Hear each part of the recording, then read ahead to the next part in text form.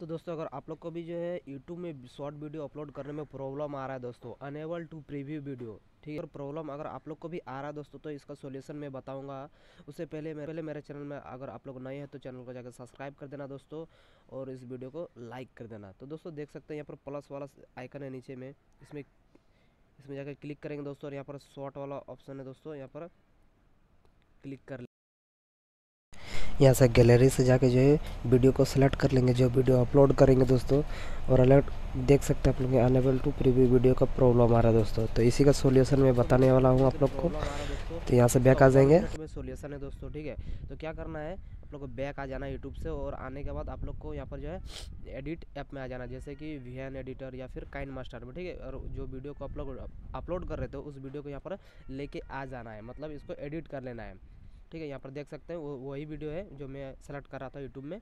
उसको मैं एडिट कर लिया हूँ, यहाँ पर देख सकते हैं आप लोग। तो आप लोग को भी कुछ इस तरह एडिट कर लेना है और एडिट करने के बाद यहाँ क्या करना है, इसको एक्सपोर्ट कर लेना दोस्तों, ठीक है?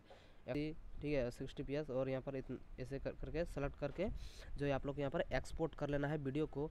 एक्सपोर्ट करने के बाद क्या करना है, फिर से आ जाना है आप लोग को यूट्यूब में दोस्तों, ठीक है? एक्सपोर्ट करने के बाद फिर से आप लोग यहाँ पर प्लस वाला ऑप्शन में आएँगे दोस्तों और यहाँ पर क्रिएटिव शॉर्ट में आ जाएँगे।